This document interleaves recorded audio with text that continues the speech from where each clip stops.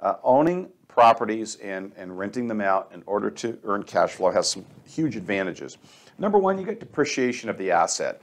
so you, you, you, bought this property and uh, you're able to depreciate the construction costs, not the land, but you're able to depreciate those construction costs uh, over a period of usually typically 27 and a half years. So you have depreciation of the asset, and then of course you have the cash flow that comes in from rents or, or leases or whatever you have. So uh, holding real estate has two beneficial aspects. You got the cash flow, then you have the depreciation. Lastly, you have the appreciation of the underlying asset over a period of time. So there's three great benefits of holding and uh, real estate, whether it be a single family residence, commercial property, or even multifamily. You got the depreciation, you have the appreciation, and then you have the cash flow. So uh, these can earn uh, you know, significant profits for an individual holding title to that property.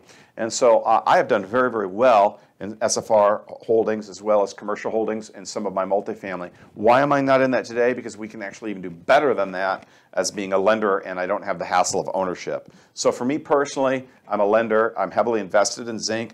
Uh, we do nearly 100 to 150 million a year in lending, and I'm heavily invested in that. But for the average person, I don't see a problem with uh, holding real estate. It's one of the uh, few uh, investment strategies that can actually create substantial material wealth over a period of time versus other uh, asset classes.